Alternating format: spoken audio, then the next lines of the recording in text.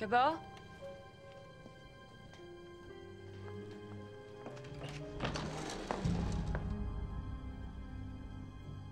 James? Surprised? What are you doing? What's wrong with you? Are you crazy? Maybe. Maybe I should ask you. After all, there's no point in living if you can't feel alive. Isn't that right, Elektra? Isn't that your motto? What are you talking about? Or did you steal it from your old friend Renard? What? He and I had a little chat this morning. Knew all about us, knew about my shoulder, knew exactly where to hurt me. Are you saying Renard is the man who's trying to kill me? Drop the act. Hmm? It's over. I don't know what you're talking about. Oh, I think you do. It's called Stockholm Syndrome. Common in kidnappings.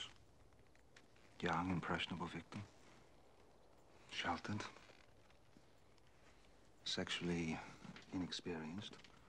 A powerful kidnapper. Skilled in torture, manipulation. Something snaps in the victim's mind. The captive falls in love with her captor. How dare you? How dare you? That animal, that monster?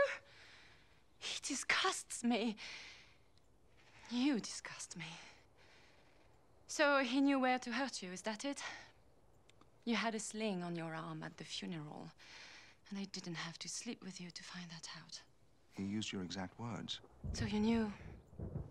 You knew all the time that he was out there, that he was coming for me, and you lied. You used me. You used me as bait. And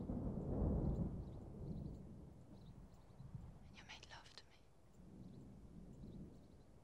What? To pass the time as you waited for him to strike?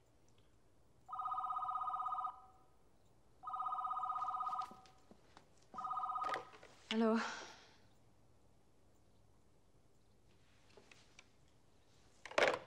He struck again. Ten men are dead at the pipeline. I'm coming with you. You do what you want to do. But I've called M. She's coming to take charge.